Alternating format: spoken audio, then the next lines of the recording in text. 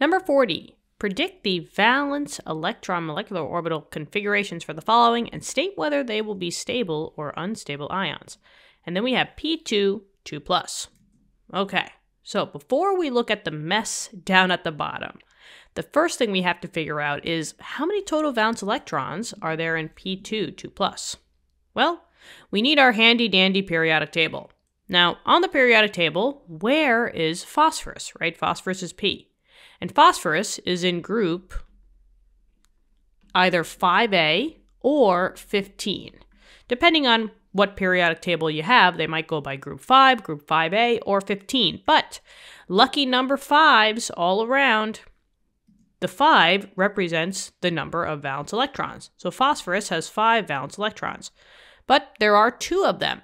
So I have double the amount of valence electrons. So if I have two phosphorus, I'm just going to multiply by the 5 valence electrons. And I'll just put val electron. So 2 times 5 is a total of now 10 valence electrons for the 2 phosphorus. But it can't be that simple, right? They got to throw in a charge. And in this case, it's a plus 2. Remember, in chemistry, plus actually means that you lose electrons. So, in this case, you lost 2 electrons. So, I'm going to take my 10 and deduct uh, 2 electrons from it. So 10 minus 2 is now a total of 8 valence electrons, which we will be using in a little bit. So that's the first part. Now the second part is now addressing the mess, which is this guck down here. Now just know that these are your general, it's a template for molecular orbital configurations. There's two different types, and the reasons between the two different types is a concept called SP mixing. So you're mixing like your S and P orbitals. But that concept is a little bit further along than a general chemistry course. You will talk about this concept if you're actually in a chemistry major in college and um, you're in like a physical chemistry class. But for now, just know that there are two general uh, valence electron molecular orbital configurations, and the two differ by what group you're in. Now, in this case, we said that we were in group 5A. So, in this case, we're going to be using the top molecular orbital configuration. So, for us, we're just going to take this and plop it up here. The rest of it can basically get thrown away, but I just wanted to show you up here just to show you that there are two different ones. So just pause the video if you need to, if you want to write down the other one, but it's going bye-bye. And now I just have P2 with a 2 plus. So I have my general configuration. Now I just have to make it phosphorus's own. Now the first thing is, is I do have little markers here, blue and yellow uh, highlighters, that need a number, right? Depending on what element you're talking about. And this number comes from the period, right? Because your S's and your P's all come, your, come from your principal quantum number. So for phosphorus, we did say that it was in group 5A, but if we look on a periodic table, it's in period 3. And 3 is the lucky number here. So for all of them, we're going to be talking about the 3s. The 3s, and then all your p's. Remember, you got three different uh, p orbitals, x, y, and z. So I'm just going to go right across and just say 3, 3, and 3. Now just know that these are talking about your sigma and your pi bonds. This notation is talking about a sigma bond versus these are your pi's, right? And just know that for every bonding opportunity, there has to be a antibonding opportunity.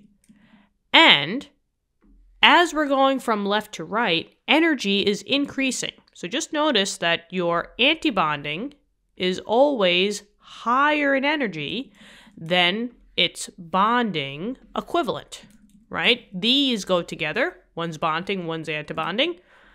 This and this go together. One's bonding, one's antibonding. And then this and this go together. One's bonding, one's antibonding.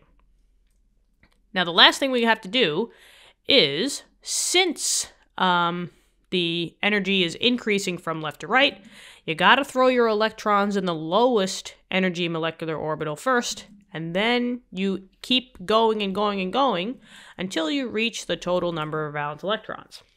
So, all your valence electrons are going to be placed after the molecular orbital or the group of molecular orbitals. And remember, for each molecular orbital, you're only allowed a max of two electrons. So let's go for it. I'm going to fill up this one because I need eight, right? So I know that two electrons are going to be dropped here. Now I move on to the next antibonding sigma 3s orbital. I'm going to drop my two electrons here. Now I have a total of four. I got to keep going because I have to get to eight. So I'm going to fill up the next one. Well, let's see. Am I going to fill it up or let's see what's going on? Well, now here, since I have two orbitals, technically I could have a max of two electrons in this one, and I could have a max of two electrons in this one. So 2 plus 2 is a total of 4 max electrons that can go in that upper one. And if I already have 4, I can add the max of 4. And I'm at my max, right? If I just, you know, get rid of this and I count, I have two, four, eight electrons, and I'm only allowed eight. So I don't even have to continue on. And just know that proper notation is where you cut off your molecular orbital configuration after the last number. So all of this, technically, can go bye-bye.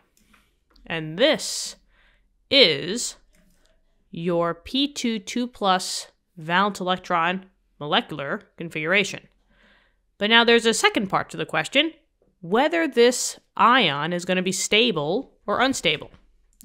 And when you're talking about stability of an ion, specifically if they're asking you for molecular orbital configurations, this is all coming down to the bond order. Bond order is going to tell you specifically what type of bond is going to be made between the two phosphorus. Is it going to be a single bond? Is it going to be a double bond? Is it going to be a triple bond? Let's find out. It comes from a formula, and that formula is this. And maybe I'll make this a little bit smaller. But bond order is just a pretty simple formula.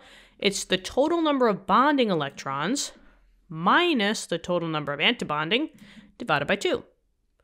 So we just have to pick out, out of these three types of electrons, who's bonding and who's antibonding. Well, it's easier to just pick out your antibonding first, because antibonding is always the one that's linked up with a star. So these do not have stars next to them. This is the only one that has a star, and there's two electrons there. So you have two antibonding electrons. And now for bonding, it's everything else. It's the one that doesn't have the star. So these are bonding, that's two electrons. And these are bonding, that's four electrons. Two plus four is a max of six. So if I just write this formula out now with the numbers, bond order equals something minus something else divided by 2.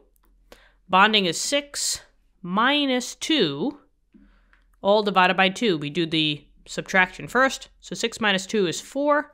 4 divided by 2 will get me 2. So we have a bond order of 2. Now, what this means, you could think of this as the number of lines in your bond. Two lines represents a double bond. So this is actually calling for a specific bond between the two phosphorus. And if you can form a bond, would that be a stable or an unstable ion? Yeah, you got it. It would definitely be stable. The idea here is that you do not want to see a bond order of zero. If your answer was zero, that literally means no bond can be formed. Zero, none. So, if no bond is formed, chances are it's a very unstable ion. And that's the answer. What'd you think? I hope this helped. Let me know in the comments. Thanks so much for viewing the video. Um, love talking to you guys in the comments, so just tell me what's up. And if you want to help us out, please hit the subscribe button. We're almost at 30,000 subscribers, and it's all because of you guys. Thank you so much for coming to the channel, and we love helping you guys out. We've been receiving so many kind comments in the you know, kind comments in the the comment section, I guess. Um, so we'll just keep doing what we're doing. You guys keep studying hard, and yeah, thank you so much. I'll be talking to you later. Bye bye.